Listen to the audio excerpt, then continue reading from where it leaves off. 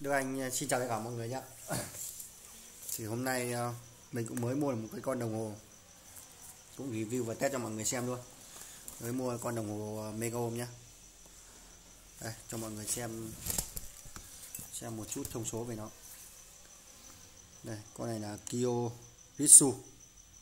Model của nó là 3321 nhá. Đấy, con này nó đo được Nó là đồng hồ Mega Home mà. Đây là nó đo được 2.000 mega 1000V nó có 3 thang. Đó. Đây là 500V 100 mega 250V 50 mega nhé. Đây đo điện áp xuê này cái nút này nút bát check này nút nút, nút kiểm tra pin đấy kiểm tra pin ờ, còn xài được ờ, bao lâu nữa. Đây là nút test nút test mọi người có thể nhấn và xoay. Đó. còn đây nút đèn. Bật cái nó sáng luôn à, rồi. Cái con này là mình mua mua hàng uh, Nhật bãi mọi người nhé nhưng mà nó còn khá đẹp. Mọi người nhìn cái cái cái lớp lớp uh, ni lông nó vẫn còn dán này không?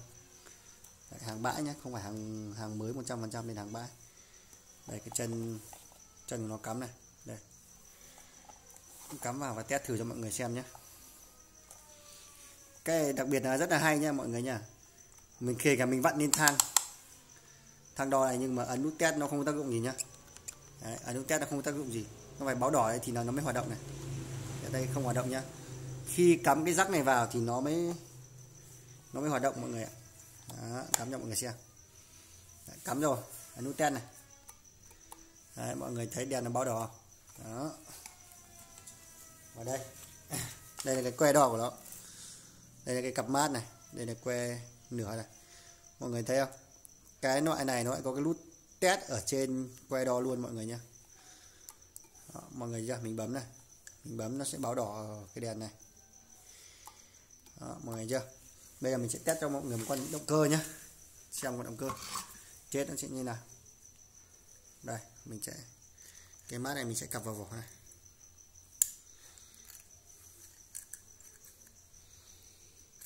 Đó. Còn đầu còn lại mình sẽ dí vào cái đầu dây từ động cơ lên nhá. Mình test. Mọi người thấy chưa? Nó là không mega ohm luôn, là chết luôn mọi người nhé Đó. chết luôn rồi, động cơ chết luôn rồi.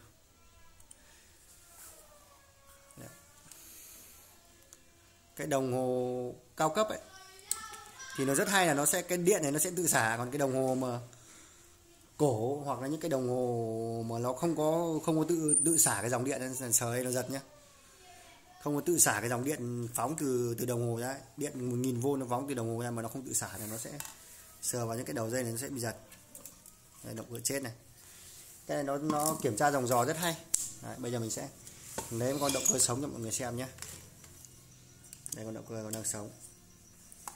Xem nó được bao nhiêu mega ohm nhé đây, cặp dây mát vào đây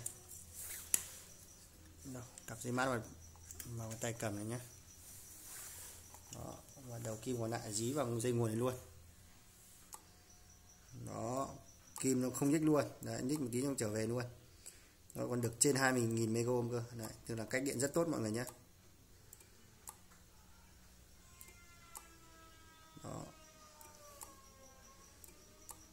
Rất là rất là ok mọi người nhé đấy có cái test thì nhiều lúc mà mọi người mà quấn động cơ ấy mà vô tình mà cái dây mà nó nó nọt ra khỏi cái cái cái cái bìa cách điện ấy, nọt ra bên ngoài vì cách điện này là mình test là mình cũng có thể mình biết được. Đó mọi người thấy hay không? Thì anh em điện cơ thì nên sắm một cái như vậy. Trước thì mình cũng đã có một cái đang dùng một cái. Đây trước mình đang dùng cái cổ này khi khi xả điện ra khi mà mà mà, mà đo ở hai cái đầu dây ở động cơ ra mà không không chập vào nhau nhá là nó giật nhá. Tôi đã bỏ đồng hồ rồi nhưng mà điện nó vẫn tích ở trong con dây nó không tự xả. Đấy, đây mình đang sao này. Con này của mình thì này nó đo được 2.500V cơ. 100.000 mega mọi người nhìn chưa? Đấy, cái hàng thang đỏ bên dưới nó là từ 0 đến 2.000 mega còn hàng xanh ở bên trên là từ 1.000 mega này đến 100.000 mega này. Đấy. cũng là của hàng Kyoritsu cả. Nhưng mà con này thì mình cảm thấy nó hay hơn mà là khi uh, khi nhấc que đo ra vai nó sẽ tự xả nó sẽ không không không tích điện ở trong cuộn dây. Đây mình kẹp nhau mình chập nhé nó lên được không mega ôm luôn. Đó, hàng này rất là trông rất là cao cấp. Dạ. Anh em điện cơ hoặc là những anh em nào mà đi nắp điện nước mà có được cái con đồng hồ này sử dụng thì cũng rất là là, là, là, là tiện lợi cho công việc nhá. Rồi xin chào mọi người. Hẹn gặp lại mọi người những video tiếp theo nhé